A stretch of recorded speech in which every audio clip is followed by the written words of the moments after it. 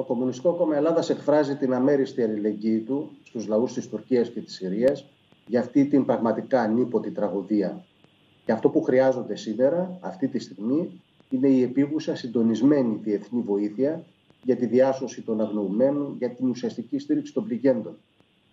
Ξέρετε, ε, υπάρχουν κοινά χαρακτηριστικά στους σεισμούς, στις πλημμύρες, στις φυσικές καταστροφές κτλ. Και η άποψη του Κομμουνιστικού Κόμματος είναι ότι παρά την ανάπτυξη της επιστήμης και της τεχνολογίας, τις μεγάλες δυνατότητες που έχει η εποχή μας για την προστασία της ανθρώπινης ζωής, δυστυχώς όλα αυτά θυσιάζονται στο βωμό των κερδών, των μεγάλων συμφερόντων, των στρατιωτικών εξοπλισμών και των υπεριαλιστικών πολέμων, που πληρώνουν με κάθε τρόπο οι λαοί.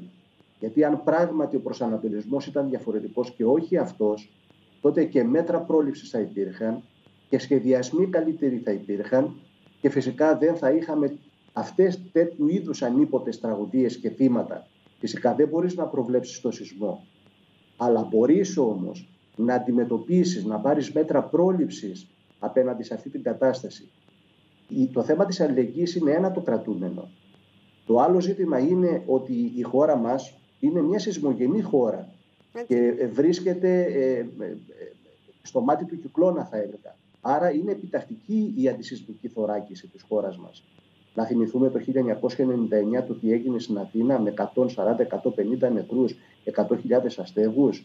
Παρόλα αυτά όμως ποτέ δεν υπήρξε έλεγχος ουσιαστικός και το 80% των κτηρίων, περίπου 80.000 δημόσια κτίρια, σχολεία κτλ. Ε, είναι ανέλεγκτα, παραμένουν ανέλεγκτα.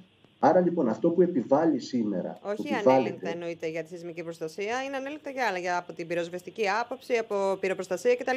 Αλλά θέλουμε να φανταζόμαστε ότι σεισμικά είναι καλυμμένα τουλάχιστον τα κτίρια αυτά. Όχι, όχι, δεν είναι καλυμμένα. Από το 2001 έχει αποφασιστεί να γίνει ταχύς οπτικός έλεγχος. Μέχρι σήμερα το 80% περίπου, όπως σας είπα, 80.000 δημόσια κτίρια, τα σχολεία, κυρίως τα σχολεία, που σε κάθε σεισμό αναδεικνύεται και η τροτότητά τους, και σας το λέω γιατί είχαμε παρόμοιες περιπτώσεις εδώ στο Αρκαλοχώρι της Κρήτης, παραμένουν ανέλεγκτα. Ναι, αυτό που ακούτε δεν είναι παράξενο. Κοντά στο είναι 30%. Είναι παράξενο αν ισχύει αυτό, κύριε Βεβαίως, Το 30% και μάλιστα το 30% ε, χρήζει άμεσων παρεμβάσεων. Άμεσων παρεμβάσεων. Παρ' όλα αυτά η πολιτεία μέχρι σήμερα δεν έχει κάνει τίποτα. Και ξέρετε τι, γιατί όλα θυσιάζονται στη λογική του κόστου ωφέλου. Εδώ χρειάζονται χρήματα. Πρέπει να χρηματοδοτηθεί η αντισυστημική προστασία, η αντιπλημμυρική, η αντιπυρική της χώρας. Οι κλιματικές αλλαγές που κουβεντιάζουμε δεν είναι απλά έτσι, απλά για να τα κουβεντιάζουμε. Σημαίνει ότι πρέπει να πάρθουν πολύ συγκεκριμένα μέτρα. Αλλά δυστυχώς όλα θυσιάζονται στο βωμό του κέρδους ε, και υπ' αυτή την έννοια υπάρχουν πολιτικές ευθύνες για αυτή την τραγική κατάσταση στην οποία ζει ο λαός μας και οι λαοί της ευρύτερης περιοχής αντίστοιχα με τις ευθύνες των δικών τους κυβερνήσεων. Για δεν, ξέρω, δεν ναι. ξέρω εάν ο κύριος Ζωβέρδο ζει σε άλλο πλανήτη.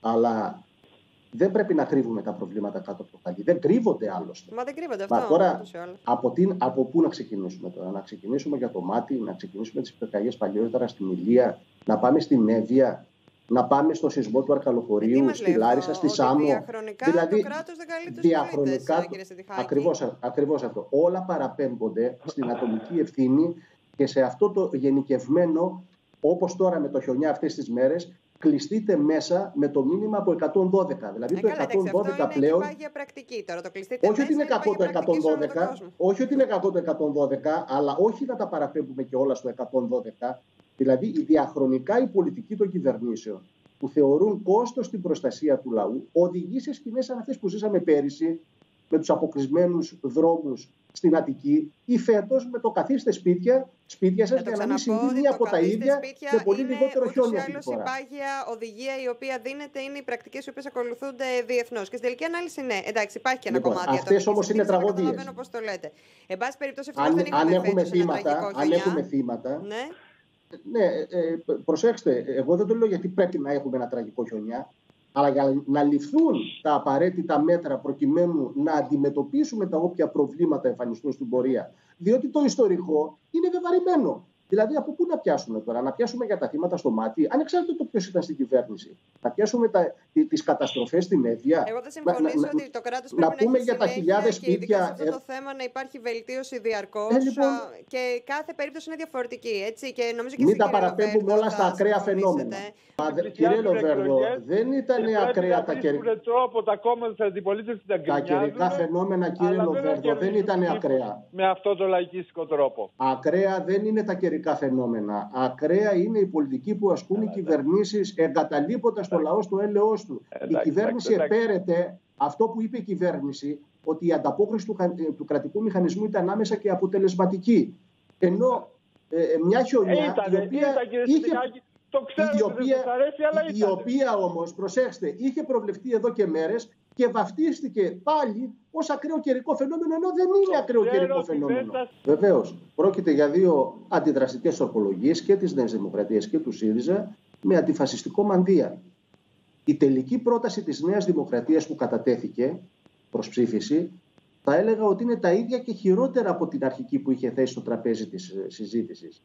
Γιατί το λέω αυτό; Διότι η τροπολογία της Νέας Δημοκρατίας εισάγει επικίνδυνες γενικεύσεις και προϋποθέσεις για τη συμμετοχή κομμάτων σε εκλογές που ανοίγουν το δρόμο για να διεισδύσουν στην ελληνική νομοθεσία, να διεισδύσει η απαράδεκτη θεωρία των δύο άκρων, η εξίσωση του φασισμού με τον κομμουνισμό. Εδώ και να υλοποιηθεί... η παράμετρος του ποινικού στοιχείου. Εδώ βάζουν μια πολύ συγκεκριμένη παράμετρο που έχει να κάνει και με το ποινικό σκέλος. Επιτρέψτε μου να ολοκληρώσω. Για να εισάγει... μας το εισάγετε στην τοποθέτησή ναι. σας εισάγει την εξίσωση φασισμού-κομμουνισμού και δεν το λέμε τυχαία, διότι αυτή είναι η επίσημη πολιτική της Ευρωπαϊκής Ένωσης ενάντια στο ριζοσπαστισμό. Δηλαδή στη βάση αυτού του πλαισίου έχουν τεθεί εκτός νόμου κομμουνιστικά κόμματα σε διάφορες χώρες όπως Πολωνία, Τσεχία, σε κράτη-μέλη της Ευρωπαϊκής Ένωσης που είναι στη Βαλτική κτλ.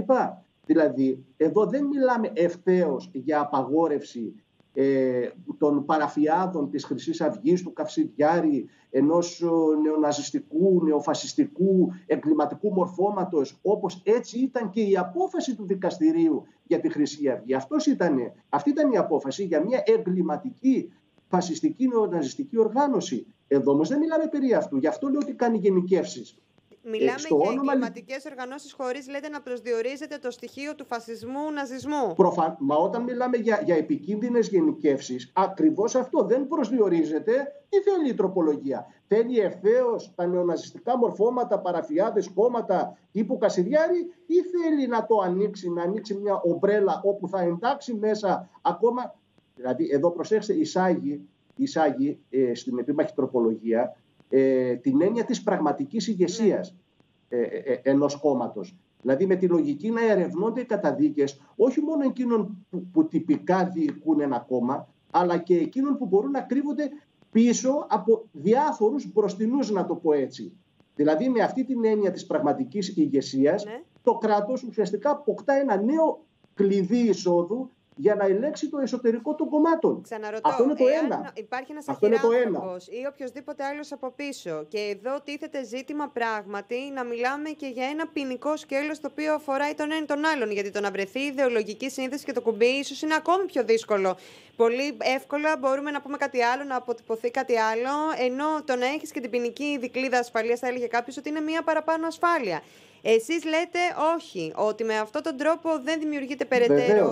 Α, και αυτό είναι το ένα. Το ένα που συμβαίνει με την τροπολογία αυτή. Το άλλο είναι ότι τα κόμματα θα κρίνονται, θα κρίνονται εν ώψη της, μιας εκλογικής αναμέτρησης. Δεν θα κρίνονται μόνο με βάση τυχόν κατα, καταδικαστικές αποφάσεις σε βάρος της ηγεσίας τους και των υποψηφίων βουλευτών τους, θα περνάνε από ένα ευρύτερο έλεγχο για να κρίνονται εάν η οργάνωση και η δράση τους εξυπηρετεί την ελεύθερη λειτουργία του δημοκρατικού πολιτεύματος. Τρέχα γύρευε δηλαδή. Τον έλεγχο και μάλιστα αυτόν τον έλεγχο θα τον αναλάβει ο Άριος Πάγος, ο οποίος θα δέχεται και θα αξιολογεί υπομνήματα από οποιονδήποτε πολίτη θέλει να καταγγείλει πως ένα κόμμα δεν πληρεί τα παραπάνω κριτήρια. Πάντως, εσείς βλέπετε λοιπόν... τώρα ότι υπάρχει ουσιαστικός λόγος ε, περαιτέρω ή ότι υπάρχει άλλο σκεπτικό. Θα μου πείτε μία νομοθετική διάταξη και μία. Μα είναι σαφέστατο. μετά ανοίγει το δρόμο σαφέστατο. Όπως και η τροπολογία του ΣΥΡΙΖΑ. Όπως και η τροπολογία του ΣΥΡΙΖΑ. Κάνει τους επικίνδυνους δρόμους. Δηλαδή, τους ίδιους επικίνδυνους δρόμους ακολουθεί και η τροπολογία ΣΥΡΙΖΑ επικαλείται τον τρομονόμο και το σχετικό θεσμικό Με βάση τον τρομονόμο, σε μια σειρά χώρες απαγορεύονται ήδη κομμουνιστικά κόμματα. τρομοκρατία, η έννοια της τρομοκρατίας έχει ποινικοποιήσει ακόμα και το ριζοσπαστισμό. Δηλαδή μια, διαφορετικές ιδεολογίες, διαφορετικές αντιλήψεις με αυτή την, το χαρακτηρισμό γίνονται αντικομουνιστικές διώξεις και διώκονται ριζοσπαστικές απόψεις και ριζοσπαστικά κόμματα. Και μάλιστα πρόσφατα κάτι τέτοιο εδώ στη χώρα μας, ο κύριος Οικονόμου, ναι. σε κάθε, ε, μην, το λέτε, μην το λέτε διότι ο ασκός του αιώλου έχει ανοίξει στην Ευρωπαϊκή Ένωση.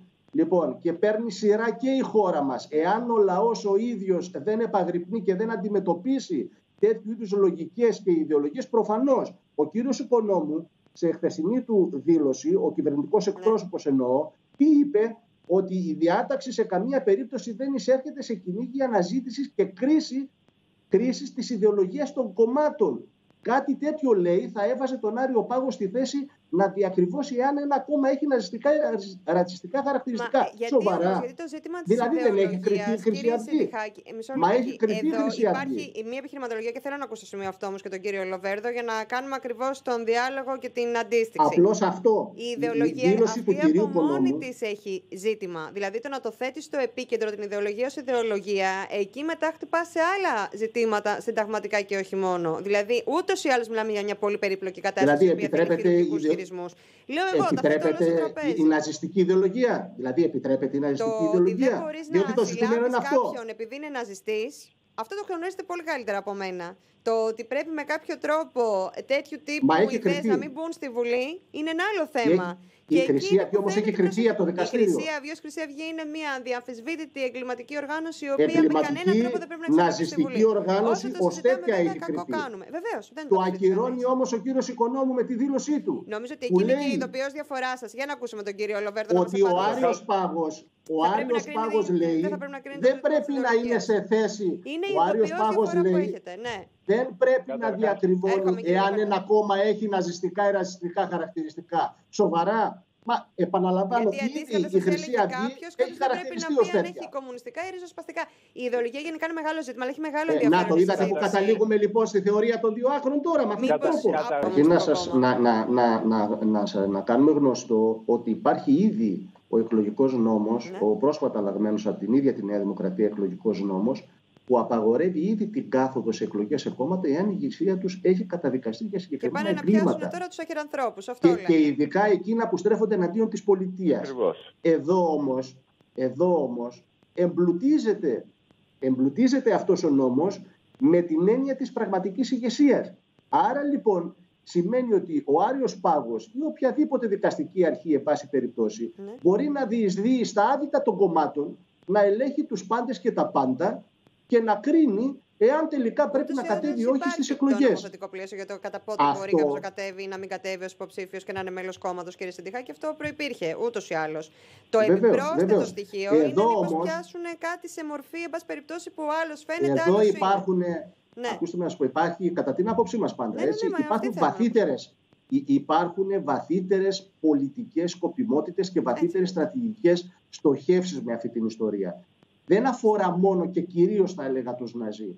Εάν δούμε την διαχρονική προσπάθεια διαφόρων κυβερνήσεων και του αστικού κράτους με διάφορα εργαλεία ε, από τη ρύθμιση για τα οικονομικά των κομμάτων έως την προστασία των προσωπικών δεδομένων να παρεμβαίνουν στο εσωτερικό των κομμάτων στον τρόπο με τον οποίο λειτουργούν και δρούν, που, που είναι φυσικά είναι συνυφασμένος με την ιδεολογία τους, καταλαβαίνει κάποιος ότι α, σταθερά οδηγούν τα πράγματα σε ένα πλήρη έλεγχο των κομμάτων με, με, κύριο στόχο, ναι. με κύριο στόχο το Κομμουνιστικό Κόμμα Ελλάδας, για να το πούμε καθαρά, δεν το λένε ευθέως, δεν το λένε ευθέως, αλλά στην πραγματικότητα αυτό συμβαίνει. Έτσι. Λοιπόν, ο φασισμό και τα παρακλάδια του δεν αντιμετωπίζονται με νόμους και με τέτοιες επικίνδυνες διατάξεις. Είναι επικίνδυνες οι διατάξεις. Είναι επικίνδυνες. Και υπάρχει ναι. και είναι και κάλπικο όποιος αντιφασισμός προβάλλεται από διάφορους. Δεν μπορούν να χωνέψουν. Δεν μπορούν να χωνέψουν την αντιφασιστική νίκη των λαών στην Ευρώπη, στην οποία ηγήθηκε καλός ή κακός κύριε Λοβέρδο, ηγήθηκε ο Στάλιν. Να πει μία γραμμή για να μπορέσουμε να το δέχεστε φόρου ζωής αυτό, δεν αλλάζει.